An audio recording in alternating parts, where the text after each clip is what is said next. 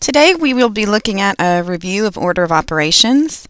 Most of you know this as using PEMDAS or Please Excuse My Dear Aunt Sally. You will need to get your square notes that you should have received from your teacher. Um, we are going to fold along the dotted lines. Hopefully yours turns out better than mine. And we are going to start with the flap that says complete all operations inside the blank first.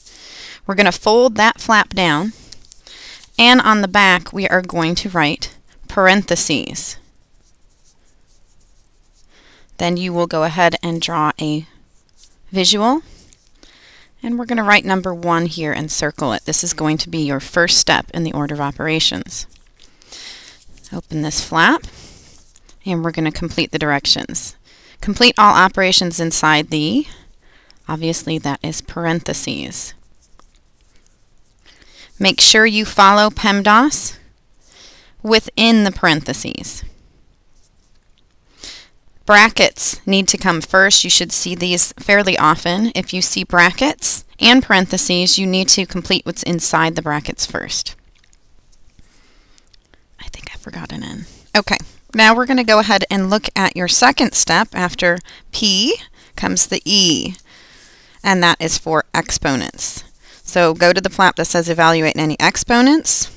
We're going to fold that down and write exponents on there. Okay, and then we're going to go ahead and just draw a little visual, write a 2 and circle it. That is going to be step 2. Okay. Open that up. Evaluate any exponents. Evaluate just means to solve. 2 to the third power. This is not 2 times 3. We would have written 2 times 3 if we wanted that.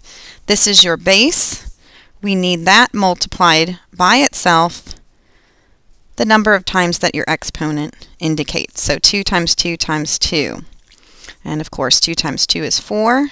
That 4 times 2 will give you the 8. Okay. All right, after exponents comes M and D, which are for multiply and divide. So we're going to fold that flap down, and we'll write multiply and divide.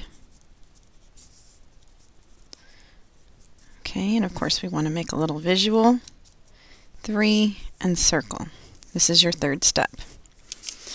Now multiply and divide are on the same level, so the order is important. You're going to multiply and divide from left to right. And of course, you read in this order.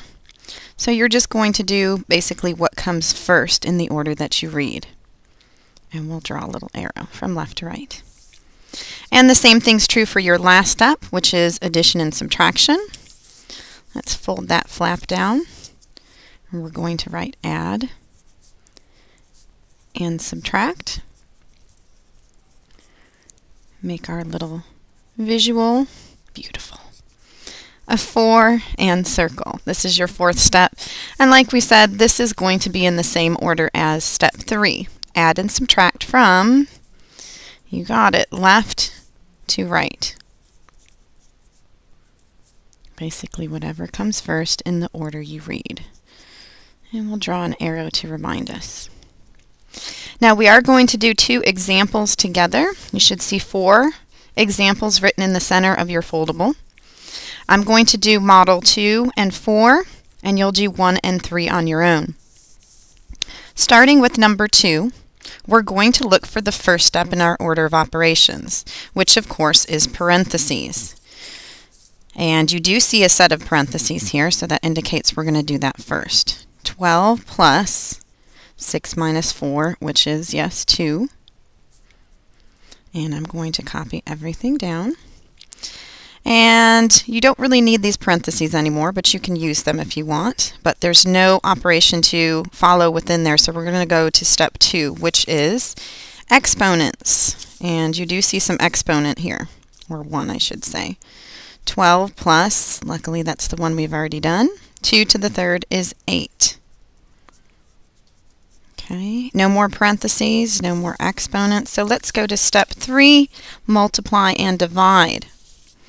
Okay, I do see some division here. Now if I had both in here, I would just do whatever comes first, left to right. But I just have division. Okay, so 12 plus, this becomes 4 minus 1. And your last step, of course, step 4, is addition and subtraction. And since I have two of those, I'm going to do what comes first, left to right. So 12 plus 4, and then 16 minus 1, and our answer is 15. Okay? Now, number 4 is a little bit trickier. This one starts with you see multiplication on top and you see three other um, things going on below, but what do we first do? What do we do first? I don't see any parentheses.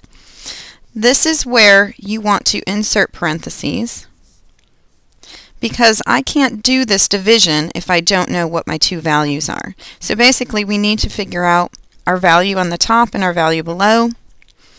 So 6 times 3 is going to be 18.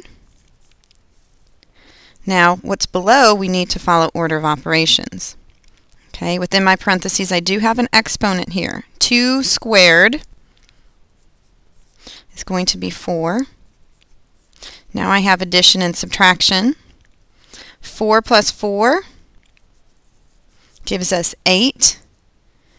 And 8 minus 1, that's going to give us 7. And then now I've got my two values so I can divide. 18 divided by 7. You can either write the decimal or fraction value, but fraction's easiest.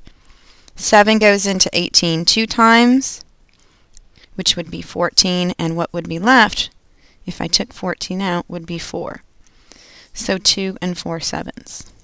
Okay. Questions 1 and 3 I'm going to have you solve for homework, and then we will check your notes tomorrow.